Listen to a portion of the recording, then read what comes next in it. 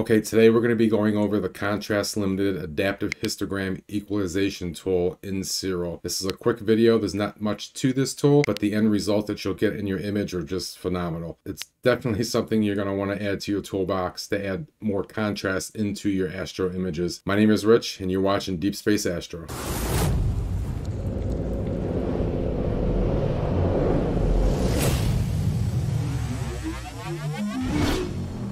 Okay, before we jump into Siril and actually run the tool, I just wanted to give you guys a high overview of what it's doing behind the scenes.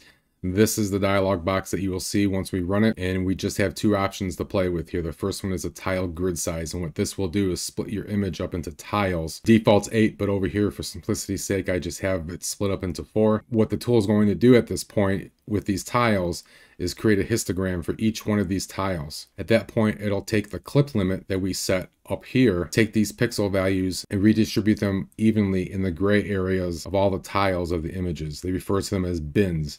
So doing it this way allows us to increase the contrast without introducing a lot of noise without affecting the brightness of the image. Just wanted to go over that, kind of give you a back of your mind visual as you're using the tool, but this is in fact what it's doing. So if we jump into Siril, and again, I'm running 1.2.0 beta 2 as of the time of recording and I am just going to open up my fit file of the Seven Sisters, the starless version. I already, I've already processed this, stretched it obviously, removed the stars, did some post-processing on it. Well, one thing to point out in you in your workflow, you're probably already past this point when you're getting ready to run this, but you do want to make sure that you've cropped your image for any stacking artifacts that are around the edge because it'll throw things off. So now we're just going to come up to image processing and contrast limited adaptive histogram equalization. And immediately you can see a change in the image because by default it turns the preview on for us. And we have eight tiles set and the clip limit at two. Those are our default settings.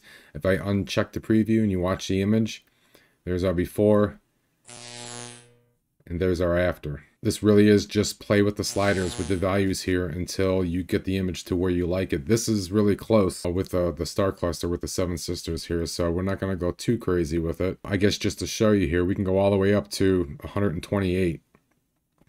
I can't imagine any situation where you would need to do that, but who knows. so let's get back down to maybe around 10. And then our clip limit, you can take that all the way up. That's from 0.01 all the way up to 50. Again, really crazy stuff, but just to give you an idea what it's capable of. And we're just going to bump this down. I think 2.1 looks good. So if I untick my preview, and you watch in this area here, as well as the whole background, when I turn the preview back on, the contrast that it adds, it's really making everything pop a lot more than it was initially. So once you're happy with the results, click your apply button and you're done. So let me know what you guys think. Something you're going to be using, add into your workflow. Have you played with it before? What kind of results did you get with it? Let me know in the comments. As always, I appreciate everybody's time. Give the video a like, share it out to your friends. I'll see you in the next video and clear skies.